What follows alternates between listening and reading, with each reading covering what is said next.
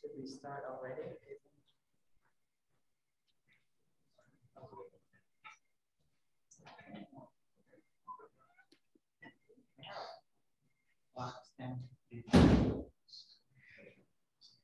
Okay. Just so you plus your Good morning. We are here. We are here to introduce Tim Sherry, who was a former teacher and principal. Actually, I just found out in District Right in Bethel District. And uh, he has written three three books of poetry. Was that after your retirement? You wrote the books of poetry. And uh, one of the books that he wants to share with us today about some of the poems from the book are called Holy Ghost Town, and it's about Holden Village, where many of us went. I first heard Tim present with several people here. I heard Tim present his poetry at St. Mark's Lutheran Church, and that must have been right after the book was published, it sounds like, because it was all pre-pandemic. So anyway, we are here to introduce Tim and share some of his poetry. Thank you, Tim.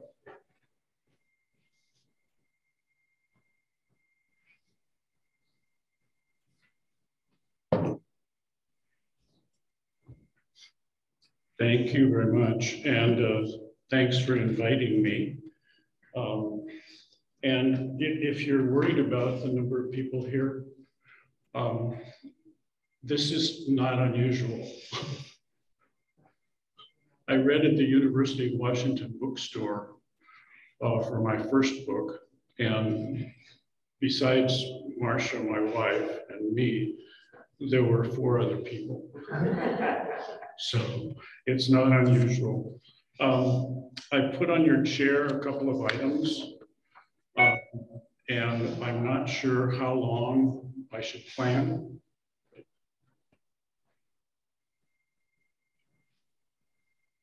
Somebody logged on, but they're very gray. Um, I'm not sure how long I should go, maybe until what, 1030? That's latest 1045. Yeah. 1045, okay. Um, I, I will do that. And um, at the end, I will invite you to uh, request from the list of poems that you see on the sheet on your, on your chair. Um, and a little bit more about myself. Um, yes, I was a school teacher and a high school principal for many years. And when you do that, and when you're tall, and when you were a fairly well-known athlete, uh, you don't write poetry. Can you imagine your vice principal kicking you out of school and you're a poet. so I, I kept my light under a bushel for many, many years. And then when I retired, uh, I had written quite a bit uh, over the years, but never told anybody. So when I retired, I decided, okay, if I'm going to do this, I'm going to do it. And I was 62 years old at the time. And I, I want to present myself as an example that it's never too late. Uh, if you have a passion, if you have something that you really wanted to do all your life and never did, then uh, go for it. and interestingly, um, how did I get started? I got started by going to poetry readings. How many of you have been to a poetry reading? Okay. Um, how many of you read poetry regularly? Okay, good. Um, I ask that because it will kind of tell me how to, how to present what I'm going to do. Um, I, I decided after I retired as a high school principal, uh, I had visions of glory that I could still teach in the classroom. Well, I got a job at Gig Harbor High School uh, right after I retired.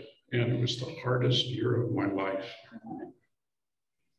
And part of the reason that I'm here is that right next door to me was a very well-known Northwest poet named Derek Sheffield.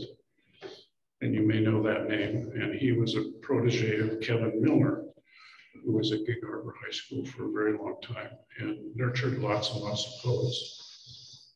And so that's why I'm here, because Derek Sheffield said, hmm, uh, you, you have potential, which is maybe a nice way of saying stop. I, I took it literally. and I, I started to write and got connected with uh, the Poetry Network in Tacoma and at Tacoma Community College and lots of other places in the area. And they were all very, very helpful and very encouraging. And then I was able to publish uh, several things from about 2005 to 2008 or nine. And those were in journals. And then Marcia and I, who had been to Holden many, many times, starting in 1967, um, but hadn't been for two decades, we decided that we would go back to Holden in 2009 and volunteer. Have any of you done that? Volunteered to work at Holden, okay. And while I was there, I said, okay, uh, I'm gonna write a poem every day. And I did. So by the time we were done, I had probably 15 poems about Holden Village. And now what do you do with poems about Holden Village? because the poetry community in the world and in the United States is not very interested at all, in fact, more or less against religious poetry, especially Christian poetry. But I was bound and determined to think of what I had done as a possible book. And over the next several years after 2009, I continued to write Holden poems because we would go back to Holden and I'd say, okay, I'm going to write some more poems about Holden Village. and by the time 2017 rolled around, I had what I would consider a manuscript, which is what you have uh, in front of you. And uh, I couldn't find anybody. Nobody wanted to publish that. And finally, I found a press in Alaska, Cirque Press. And they said they would publish it, and lo and behold, I have a book that I knew I had an audience. All of the Lutheran churches in the world and around here, I knew I had an audience. And I thank you very much for coming and being here and supporting what, I, what I've done. Um, how many of you do not know anything about Holden? Is there anybody here who doesn't know anything about it? How it came about? The big mine up there for copper. Copper, copper comes down to the smelter in Tacoma. They leave the mine in 1957. It's just walked away, left everything. Um, and it was a ghost town for a couple of years. And then it was discovered by Wes Prieb, a kid at Lutheran Bible Institute. And he wrote letters to the mining company with the outrageous idea that they give the whole thing to the Lutheran Bible Institute, which they did. The mine unloaded the whole operation, the mine, all of the equipment, the buildings, a hundred houses that housed married miners. They gave everything to the Lutheran Bible Institute. Yes? Wasn't there a great liability and all that? Absolutely. but one thing you have to realize about Holden Village is that there's a great deal of serendipity involved and a great deal of whimsy and a great deal of making it up as you go. And that's what they did the people from LBI went up there and took a look and said, oh, okay. And one thing led to another and it became the retreat center that it's been for the last 70 years. and so I tried to organize the book as a kind of narrative of when you go to Holden. When you decide you're gonna go to Chelan, park, get on the boat, go up Lake Chelan 25 miles, get off at Lucerne, get on an old school bus, ride up 11 miles into the middle of nowhere, get out of the school bus, and there you are. Because still at Holden Village, all of the mining stuff is gone.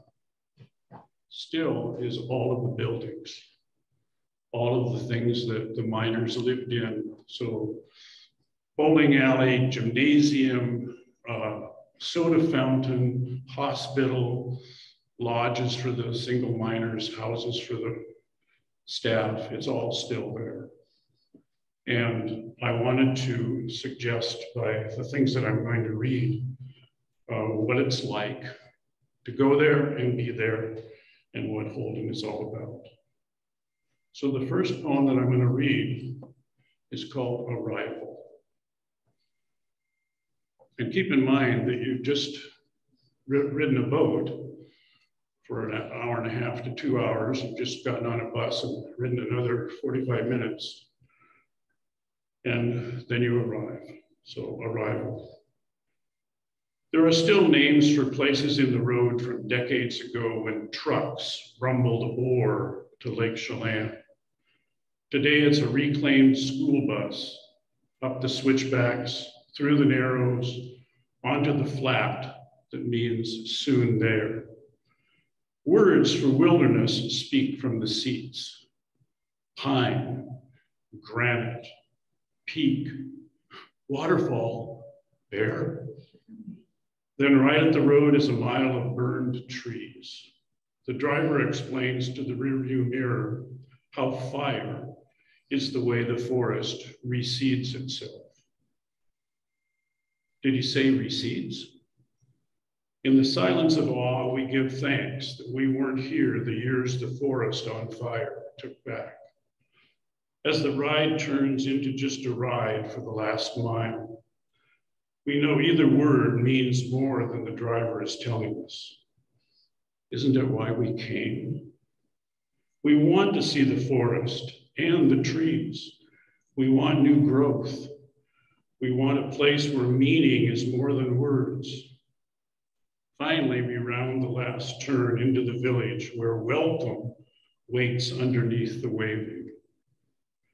The driver stops, stands, and explains wilderness using sacred words as if in prayer.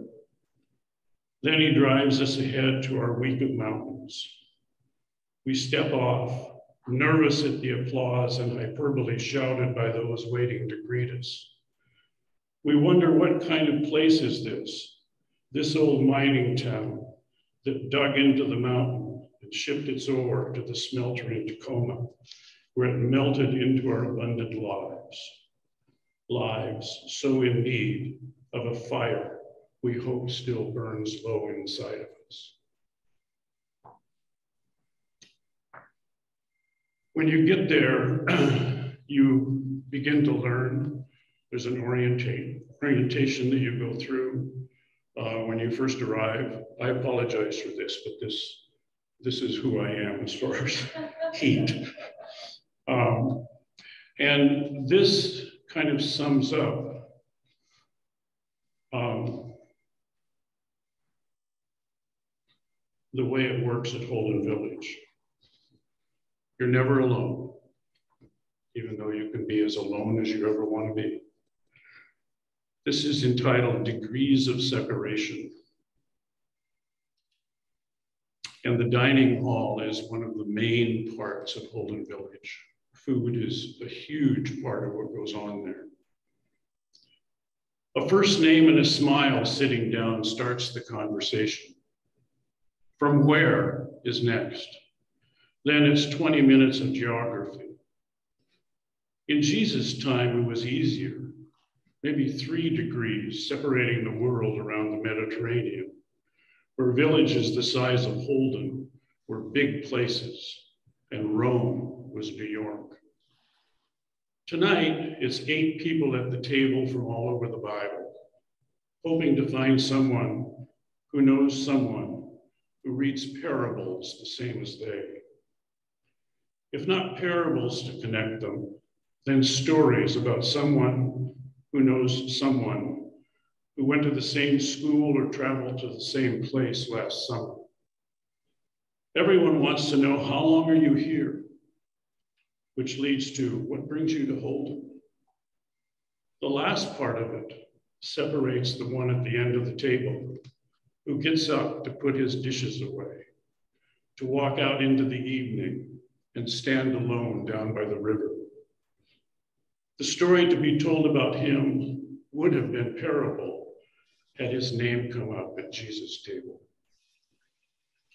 A great deal of what happens at Holden is that people go there um, to, as we used to say, find themselves. So you find a lot of young people there who aren't quite sure what comes next. they maybe are taking a gap year. Maybe they've had a terrible tragedy in their lives. But very often you find people there who are searching.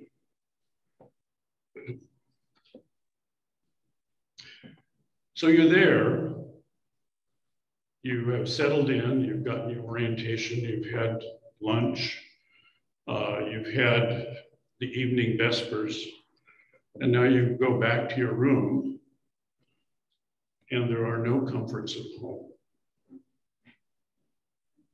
You've come to Holden knowing you will share a room.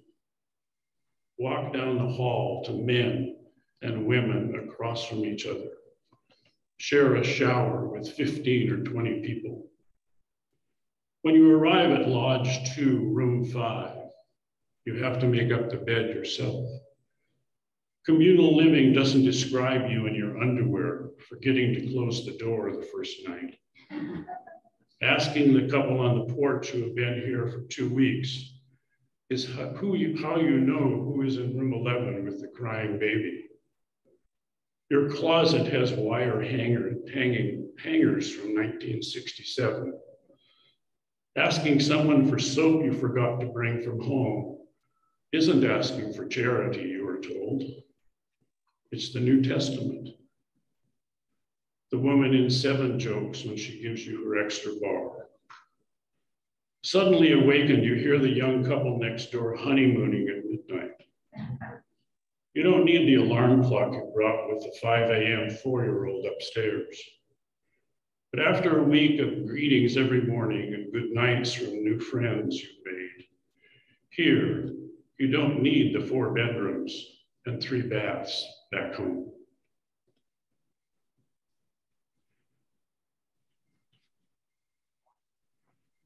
The buses are famous.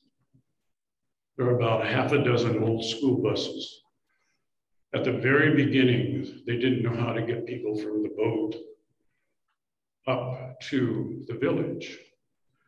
And so they said, well, why don't we get some old school buses and use those? So I'm betting that there are school buses still there from 60 years ago. There are about a half a dozen of them, and they all have names. The buses. Hilarity is part of Holden's core values. And buses are part of the laughter that is part of the story of Holden.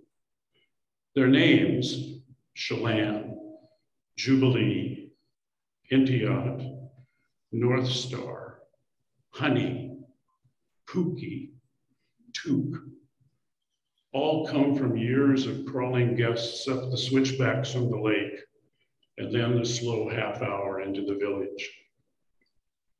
They needed names for the staff to decide whose turn it was each day to meet the fast boat and then the slow boat. Who would need a few days off for repairs? Who to park in the fall as the number of guests coming in needed just one bus. All still yellow from their school days but covered in 11 miles of dirt road twice a day. The buses are Holden's way of starting guests off with a chuckle, that they are not back in elementary school, but they are on their way to a place where what is important in the wilderness is often as simple as the names of things. It might make one wonder that if there had been buses in Jesus' day, He might have called them James and John, Andrew and Philip and Bartholomew, Peter, without a doubt, Thomas, and then sent them out to pick anyone up wishing to get him.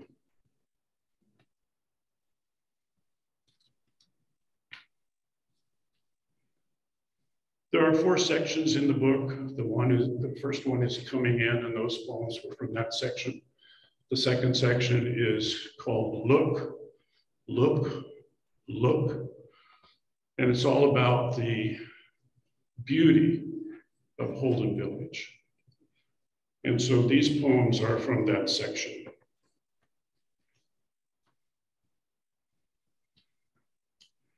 The epigraph uh, at the start of that section, look, look, look, is that God writes the gospel not in the Bible alone, but also on trees and in the flowers and clouds and stars. Martin Luther.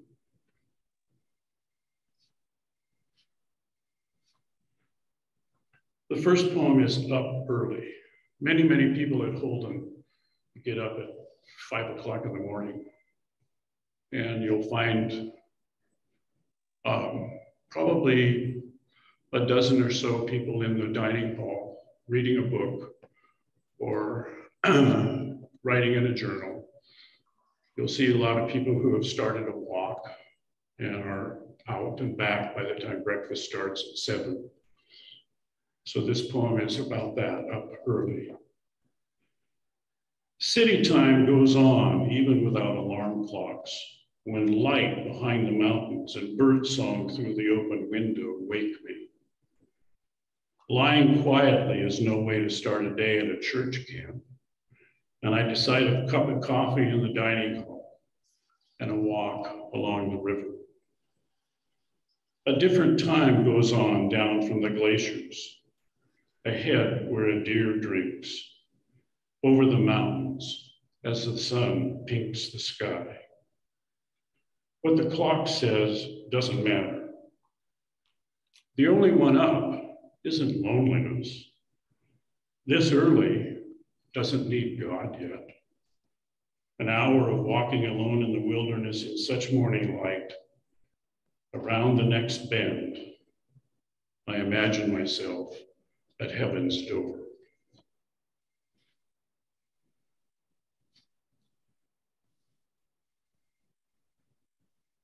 It's all about the mountains. There's a river. It's called Railroad Creek. Who knows why? There's no way a railroad could be there. Probably back in the day, somebody was exploring a route, and maybe that's why. Um, along the river is Holden Village. Up on the hill is the mine. Um, so this is entitled Wilderness Perspective. The mountains up the valley reposition their peaks on the horizon after glaciers melt. Flood and avalanche carve the slopes while tectonic plates work the depths. I walk the trail to check off that I came through, pretending my footprints or a branch broken off will be noted too, as God tends to the sparrows. But the mountains go on in their disregard for anything less than millennium. The wind stirs, leaves and dust blow across the trail behind me.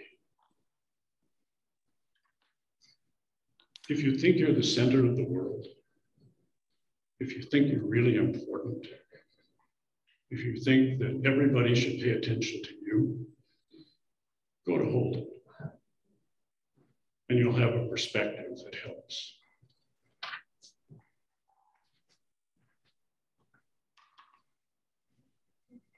Fire is one of the things at Holden that is an obsession, if there is such a thing at all.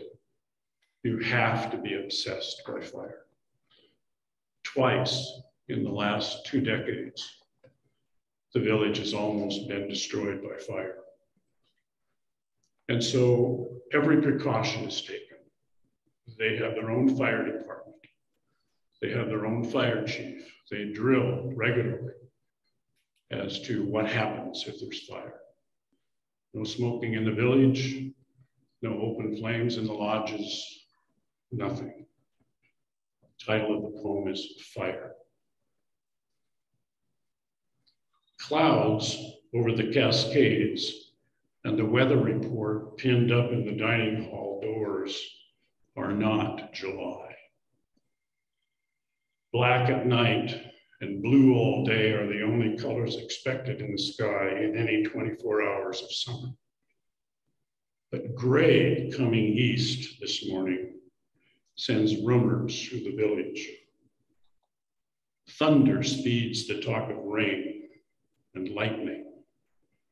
Worry turns from hikes postponed to what a fire. And at the start of lunch, there are reminders of what to do if evacuation orders come.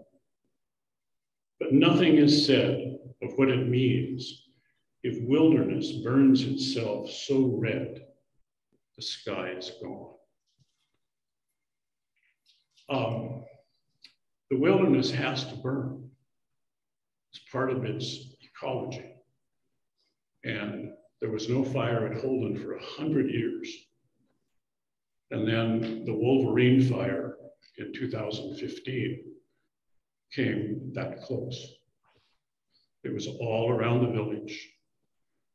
The hotshot crews and a few of the staff from Holden were able to save it by that much. And so now when you go up the road to Holden, most of everything is burned until you get to about a quarter of a mile from the village where they backburned, they used sprinkling systems, they did all the things that you do to fight fire.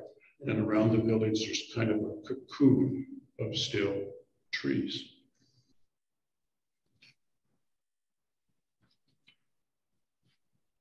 And this is how most people, this is the only way most people are able to express what they feel and see in the wilderness.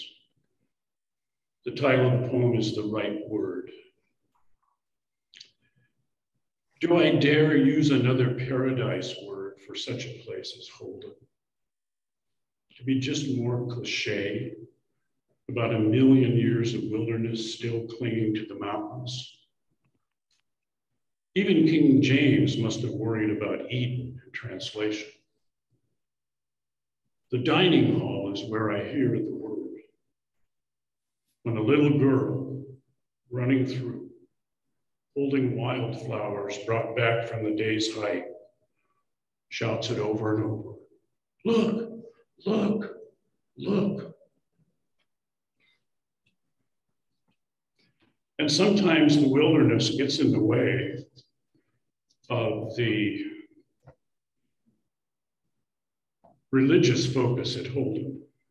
It is a Christian place. You don't have to be a Christian to go there. You don't have to be a Lutheran to go there. You don't have to have any belief in anything to go there. In fact, many people who are there are not at all religious, except in terms of the wilderness. And they have some kind of spirituality, some connection to that. but every day there are prayers Every night there is Vespers. They're expected to be there, but the wilderness can get in the way of that. The title of this is Backsliding at Church Camp. the rules expect attendance at Vespers, and you always follow the rules religiously. But here, the wilderness you came for is out there. And on your way to the village center where the gospel gathers, a deer on the road just past the last lodge turns and seems to say, Come. Your hesitation is a 10 second prayer asking forgiveness, and you go. At a turn a mile down the road, A sign that marks the start of a trail also seems to say, Come. And you head up to a place among the trees where silence is unspoken parable.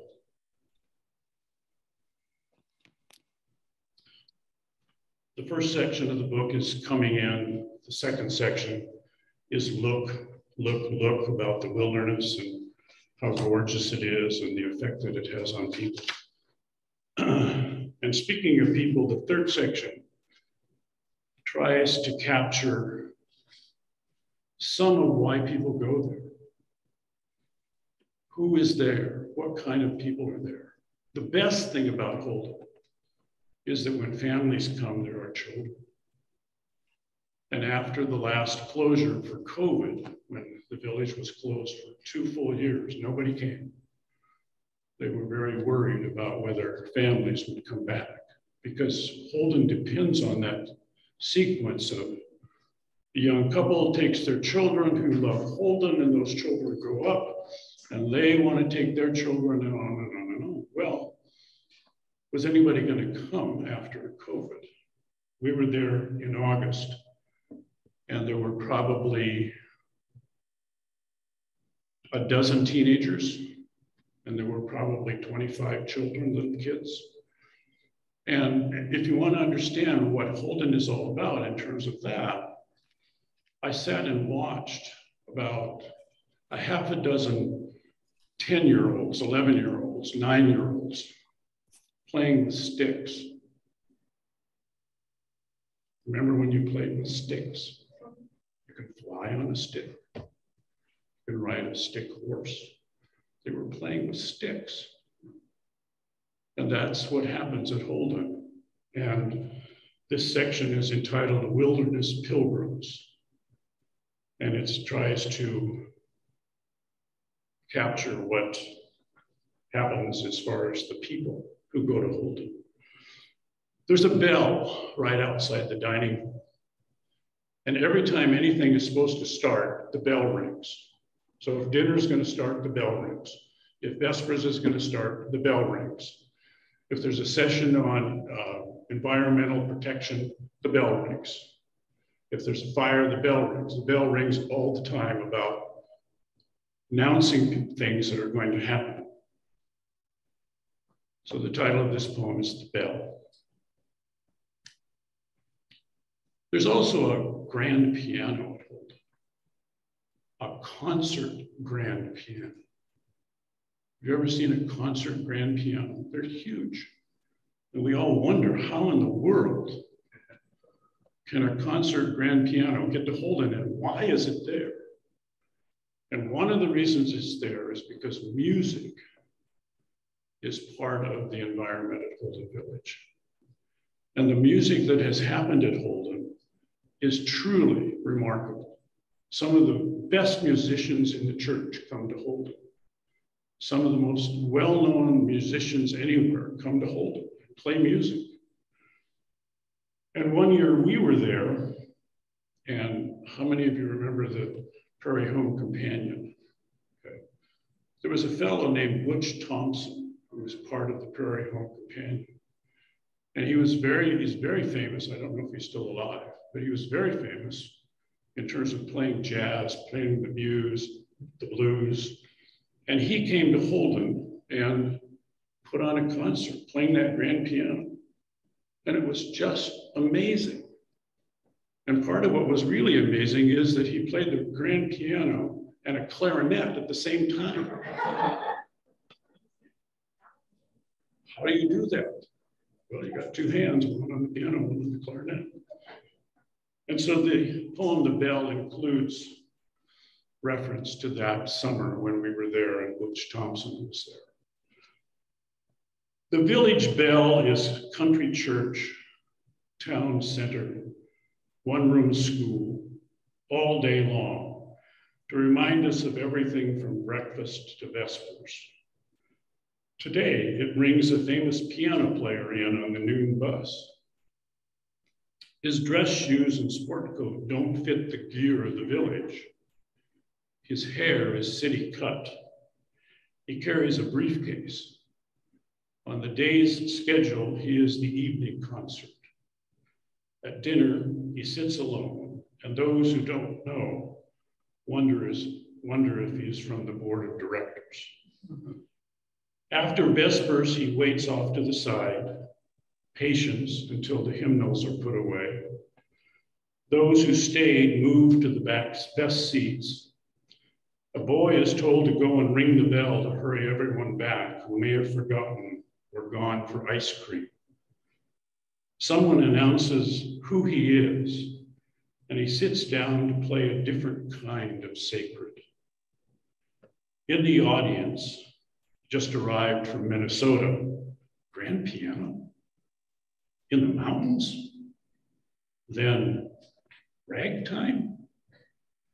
The big grand dances Fats Waller, Scott Joplin, Jelly Roll Morton, where we've heard nothing but hymns the past week. The third number in, a tapping feet, can't help but pray along as he plays those keys into wildfire and roaring wind, avalanche, music rolling out the open door to celebrate the night, the same way a bell keeping time between sunrise and sunset rings true in the wilderness.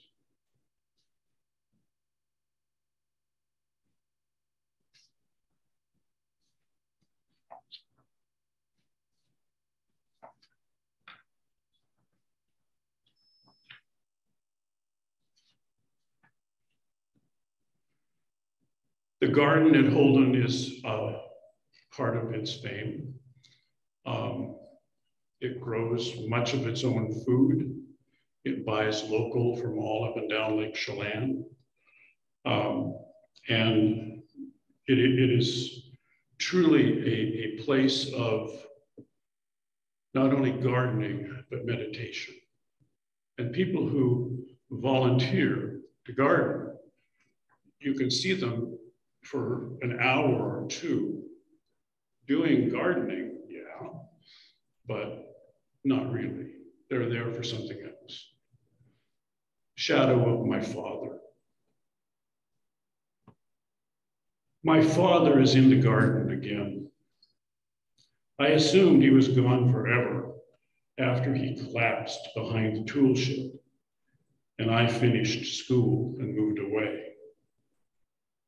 Over the years, there has been no place for growing anything. It is work in big buildings. It is small city lots. Supermarkets are close by. Stepping into a row of rhubarb in the village garden, where I come each day to volunteer, I kneel down the way he taught me, the same as in church. With the morning sun slanted on my shoulder, there he is, right beside me, as if praying for my very soul.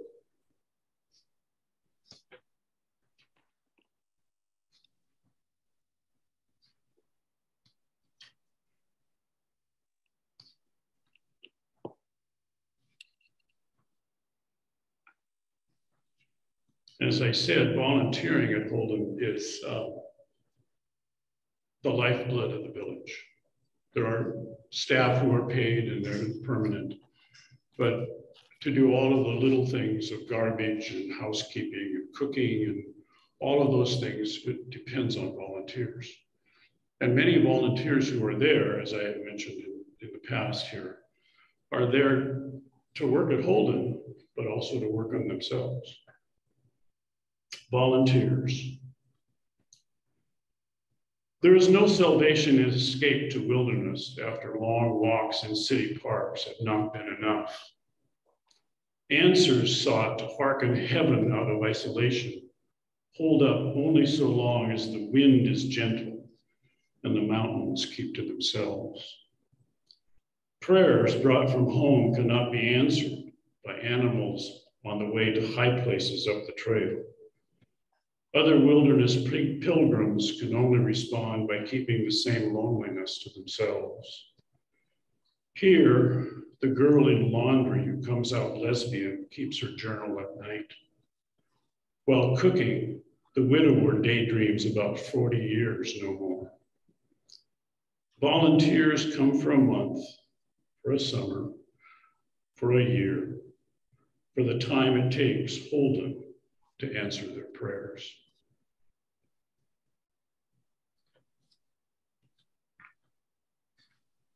So the first section is about coming in. The second section is about the wilderness that is so remarkable. The third section is about the people who are there and some of the things that they're there for. And the last section is called Going Out. And when you leave Holden, you usually are taking something pretty special with you. It may be something from the store, you bought a hat, but it's more likely something inside you. This is entitled Recycled Meditation. At a wilderness church camp, recycling takes a scientific name. But garbology, as it is called, is religion too. Boiled down to its simplest, we empty, we sort, we crush, we bag, we haul, we dump, we chop, we cover with sawdust and dirt. Can we help but flash back to childhood when grass clippings and weeds, canned peaches gone bad, and table scraps all went to compost behind the woodshed? When the world was grown-ups, the raising of children took chores, and the compost went right back into the garden rows staked with string. Recycling wasn't what we called it. Every day, to bring it in, cook it, take it out, dump it, turn and cover it was the way to make it with one job, one car, one acre. It was the way we wasted not, wanted not, the way we helped God help those who help themselves. Changing the oil every 3,000 miles, throwing change into a dish each day, putting wood in for the winter were the same. We did them religiously and learned they worked the way giving cider time to harden was chemistry. Now, 40 years later, when science and scripture both say the world needs saving, we come to the wilderness each summer where recycling makes good stewardship the way one acre of chores simply made good sense.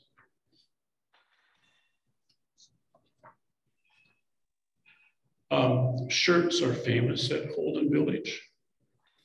T-shirts especially. Uh, people come with whatever their version of politics or religion or football or whatever, and they wear T-shirts. And so it's always interesting to read people's T-shirts and try to figure out what, what's going on with them. Title of this poem is Sometimes All You Can Do Is Just Wonder. T-shirts sometimes say more than sermons. That was the message. It didn't matter that there was a sermon. What mattered was that the girl giving the sermon last night at Vespers was talking with notes, but her t-shirt was going off into the space high up in the village center, the way fireworks go off in the sky 10 miles north and you wonder what they would look like if you were right there. You want to see the last droop of fire into the water. We couldn't take our eyes off. Religion sucks sometimes too. Couldn't. Didn't want to. We wondered what set off that kind of fireworks. Everyone gets to wear their version of politics or love or football religion? Was he just trying to be funny? She must have decided God has something to do with broken hearts or abuse or mean Twitter. But the woman knitting in the first pew shook her head and speeded up. A little boy in the back wondered if you could say suck in church. And his mother, whose tattoo under a short sleeve showed something about love, explained with a hug. all of which leads you to just wonder what it would have said if Mary had been wearing a t shirt on the way to Bethlehem.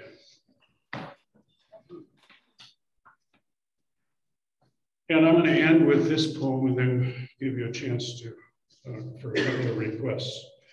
I tried to summarize um, everything in the last poem. Uh, the title is Go Tell It Down the Mountain. You've arrived, you've seen the wilderness, the people are there. The last section is about leaving. Go tell it down the mountain. When you get back to the real world and try to tell whoever will listen about Holden, tell them you spent a week in an old mining town. The Lutherans got their hands on it and made into a place for holy talk, holy walk, and holy cow. Tell them you went thinking that without a TV or the internet, there would be nothing to do, but that you found excitement just being in one place every day, doing the same things with the same people. Tell them you went with all kinds of sessions, they were called, where deep thinkers got you talking about things like forgiveness, like service, like salvation. Tell them about the people you met and how six degrees of separation is more true than all the cliches they've ever heard. Because every day, someone in the village knew someone who knew someone right back to you. Tell them how glaciers and granite work together to grind beauty down to just standing there in awe at the overlooks on the trails along Railroad Creek. Tell them hiking is religious, not because it's such beautiful hiking, not because it puts you in touch with spirits told in Indian legends before God came along, but because it hurts so good to do it and treat it as pilgrimage in the wilderness. Tell them that never having been there before in one week, you learned again, but all those good Lutherans seem to know about places to visit when vacation is religion. Tell them there is rhubarb from the garden every day. Tell them kids run far into the night with their games. Tell them porches there are confession and communion both. Tell them that a prayer around the cross, strangers pray for strangers as friends. Tell them you raised your hand to volunteer for a dish team and laughed that the Holy Spirit made you do it. Tell of the soft afternoon wind that cools the trail through the big trees. Tell the stories you were told about the old days when it was a college kid who saved the place. Tell the joke made in the sermon about Jesus that was still gospel truth. Tell them Holden hilarity is good for the soul. Tell how easy it is to speak up at book discussions when you haven't even read the book. And it's by a theologian who everyone in the room seems to have as a neighbor. Tell about the mountains and wilderness in tales as tall as the trees, because Holden is as beautiful as any place this side of the promised land. Tell them at Holden you might find the Holy Spirit going to the end of the road in the middle of nowhere, going to meals with strangers who are just as nervous about what to say as you, going to Vespers every night and pretending it's songs you've never sung going for hikes along trails that look down on nothing but down, going to sleep in a place so quiet, deer eating at the lawns in the morning wake you, going past the snack bar in the afternoon, where if you stop, someone will offer to buy you ice cream, going down the mountain and people sending you off with a wave goodbye that means every word of the prayers they've said for your safe travel home. Um, you have a list in front of you. If there's any poem that you would like me to read, we have five minutes. Is that how long we have? And if you don't, that's that's fine too. Did you read Wilderness Song? It's in the going out. Okay. Um, I, I wrote the poem and I decided to add the numbers of the verses So it looks like the Bible when you have a number of the verse. So this is wilderness song. It is the end of my last hike at Holden, and I walk back to the village for dinner. The trees that block the setting sun have hidden in the valley a hundred years.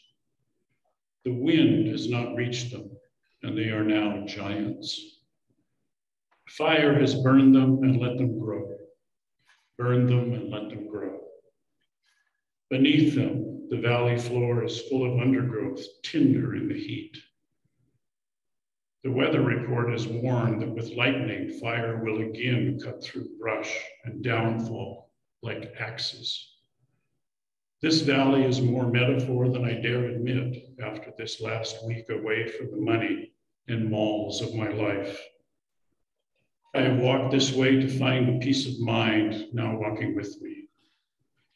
The silence is a reminder of all that I came for, all that I have found. At home, I will tell of what wilderness teaches me and sing its praises. Yes. I just want to say thank you. It was wonderful, quiet and meditate time with you. I, I appreciate it so much. I love done. Thank you. Thank you. Does anybody have another poem that they would like? We have uh, one minute. I have several one minute poems. Uh, I decided to put at the end of the book, you know, when you've gone on, on vacation and you send a postcard home, and it always says, wish you were here. Yeah. Well, this one, you've been home and you send a postcard back to Holden. So it's entitled Postcard to Holden. Just a note to say thanks. Got back to the world yesterday. Unpacking, found a handout from a nature walk. Couldn't remember all the names of things along the way. Doesn't matter. Words everyone used on the talk tell it all. Green, unspoiled, remote, grand, serene, quiet, peaceful, glorious. At every turn, a kid up front kept saying, Holy cow, look at that. A place that needs its own thesaurus. Guy from Minnesota maybe said it best. God is beautiful. Might have been a prayer. Glad you're there. Thank you all very much for coming. I appreciate the chance to read after two years of not doing it. You go back every year, you go to Holden every year. Well, we haven't during COVID, obviously, but from 2009 until COVID, we went probably every year or every other year. And uh, we went there in August. And we went back after they opened the village um, in May of 2021. 2020 was COVID, vaccine. That fall, they opened the village for summer of 2021. So we volunteered to go back with a whole bunch of people and clean the village. And boy, did we clean it. We cleaned every beam and every windowsill and everything because no one had been there. And they were being ultra, ultra, ultra safe in making sure that it was good to go for the people coming. So we did that in May and then we went back in July 2021 and then again in August of this year. Thank you all again. Thank you so much. Thank you very much. Yes, copies of. Yeah, you have a copy. We do have, I do have copies if you would like them. They're $150 each. Can we get them online? Oh, don't do that. Yes, I, I have them for sale if you want them, but they're $15 and I, I have change, so